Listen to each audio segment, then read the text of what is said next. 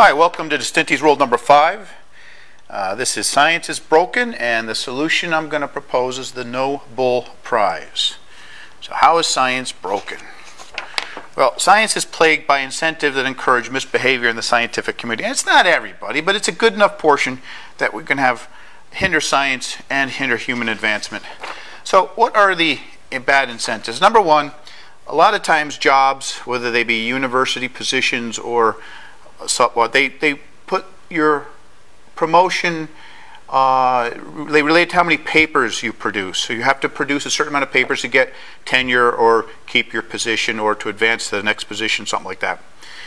Um, and so this has unintended consequences, uh, which we will cover in a moment. And this, I'm using scrolls here to represent research papers because I really couldn't find another.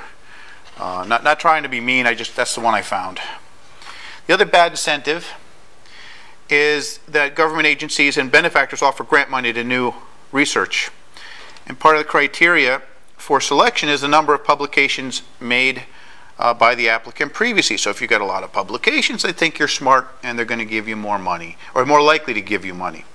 And this leads to, you know, other bad behavior. And let me give you an example. Suppose you're a scientist who spent years and millions of dollars in grant money only to discover that the last of your 10 experiments does not agree with your new shiny theory. What do you do? Well, the honorable thing to do would be, because it only takes one wrong experiment to prove a theory wrong, then you should abandon the work and then apologize to the benefactor and try to explain that their money was not wasted. While at the same time, you have to ask for more money because you got to do something else now. Um, and meanwhile, your other colleagues are being promoted and getting new funding because their papers are successes.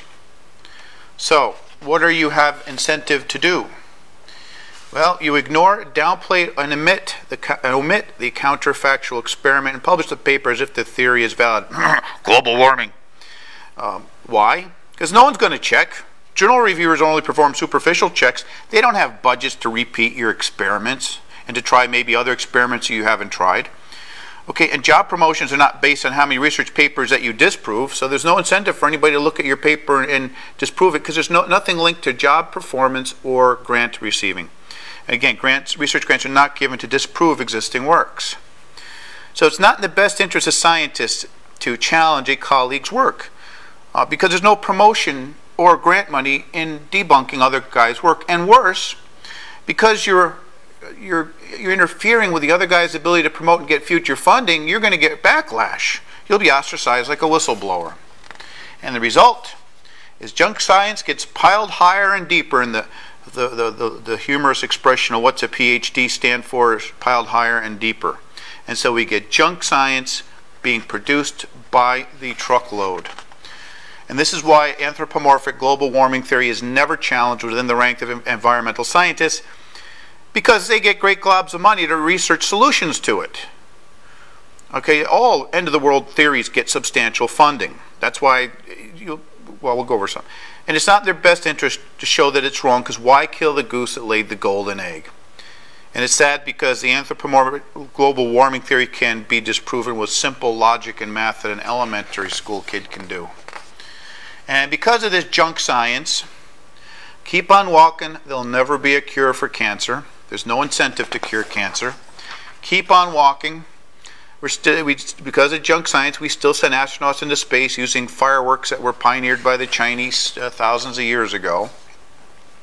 Because of junk science, E equals mc squared states that there's abundant energy to satisfy all mankind's wants and desires beyond his imagination. But guess what? Because relativity is junk science, it gives no way to harness this energy, and you say, what about nuclear? Well, that's not relativity. Nuclear energy is quantum mechanics and all that stuff. It's not relativity. And that's why we're still murdering each other over oil. If we could get, if this were a true thing that relativity uh, explains how this could occur, we should have a way to get the energy out and be able to do all this stuff and not murder each other over oil anymore. And because of junk science, governments hemorrhage cash to fight threats to humanity that just don't exist and you know we had killer bees the next ice age in the 70s when I was a kid glacier melting they've been bemoaning glaciers for thousands for hundreds of years uh, they did all kinds of studies about comic books in the 50s and had a comic book rating system which only made comic books darker Uh, then we had the war on alcohol in the 30s, and we had witch hunting in the 1600s, yada, yada, yada, yada. And people believe what people tell them. And that's why we always strangle with this junk science. So it's in scientists' best interest to repackage their research in terms of a major threat to humanity or the world. That way they'll obtain a windfall of funding. And what's another myth of science? That scientists are smart, they would never allow a theoretical flaw to persist. Well, let's suppose that you're a scientist that runs an experiment that contradicts relativity. What would you do? What are the three possible outcomes in that case? Well, 90% of the time, that person that runs that experiment is going to assume that they made a mistake because obviously no one's ever, ever shown anything counterfactual to relativity. So relativity must be irrefutable. And then what they do then is they just go on to other things because they have to support their jobs and future funding. And they'll probably never return to this. And the outcome is science grinds to a halt. Outcome number two. After months of second guessing, the scientist realizes that the flaw in relativity is true but realizes that there's no benefit in proving relativity wrong. I mean, you don't gain anything. You don't get a Nobel Prize for proving relativity wrong. And the backlash is going to be substantial because there's too many idiots out there that have no ability to think outside of what they're told in school. And they will just going to dismiss you out of hand outright and probably blacklist you and never allow your paper published. It doesn't matter how good your argument is. There's some people that won't listen to you no matter how good your argument is. Uh, and since a great bulk of paper use relativity as a foundation, in other words, they're deltas, standing on the shoulders of giants is the expression, disproving relativity will negatively impact the bulk of your colleagues' papers. And you're going to put their future jobs and their future research grants in jeopardy. And the backlash you're going to receive is stunning. So you're, you're gonna, just going to drop the research because it's better for your career to publish garbage that sports relativity than to try to waste your time disproving it when you will receive nothing in benefit except heartburn and backlash. It's all you're going to get. And again, science grinds to a halt. Outcome number three 1% of the people are going to hold on to it and try to secretly develop an alternative.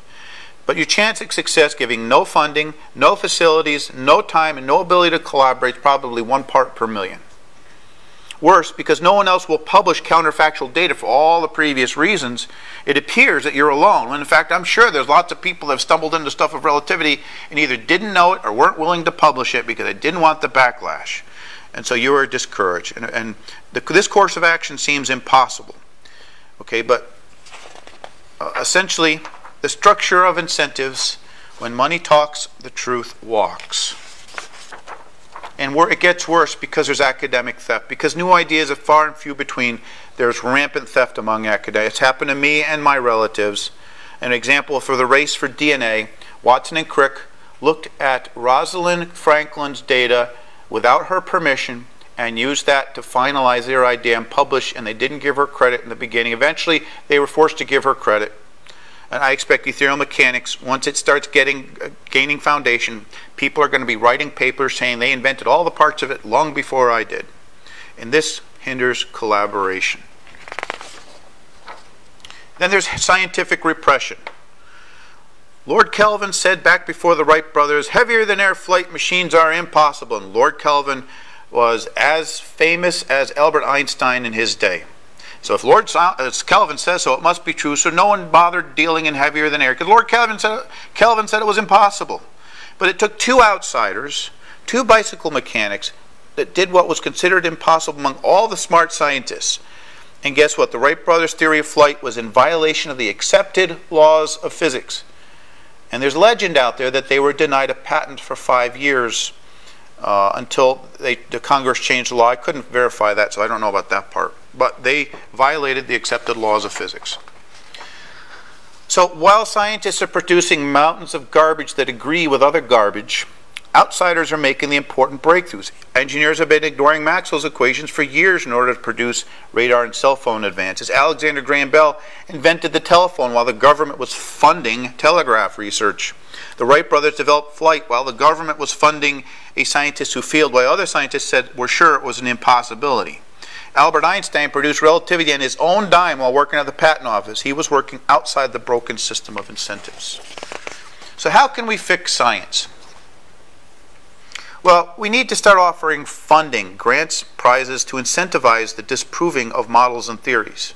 Because the quicker we can get through the mounds of bullshit junk science, the quicker we can get to the cures for cancer, the ability to push people into space without using Roman candles, and all of the other great things that have been promised in all the science fiction shows since I was a kid in, in the 70s. Okay, but with the current system, all we are is churning junk upon junk upon garbage. And these scientists have the nerve to call all the other people out there trying to make advances crackpots.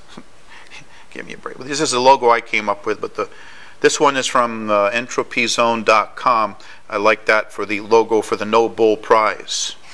And No Bull Prize is going to compete with the Nobel Prize. Okay, there are mountains of junk science out there. Uh, and all of these things can be disproven quite easily. And the reason why no one's done it before, there's no incentive to disprove it. It's easier just to produce a paper based on it and get a pat on the back and some kind of cash prize for that. And uh, this is rule of acquisition number 28. Lactose intolerance. Blind commitment to an theory is not an intellectual virtue, it's an intellectual crime. Imre Lakatos. And the other thing he said is we should not think that a theory is ultimately true, only that it has no counterexample has been found yet. Oh, I kind of spoke that wrong, but you get the idea. Engineers actually have a better incentive system. If engineers screw stuff up, people die. So engineers have an incentive to do rigorous testing. However, they still don't have unlimited budgets or unlimited time.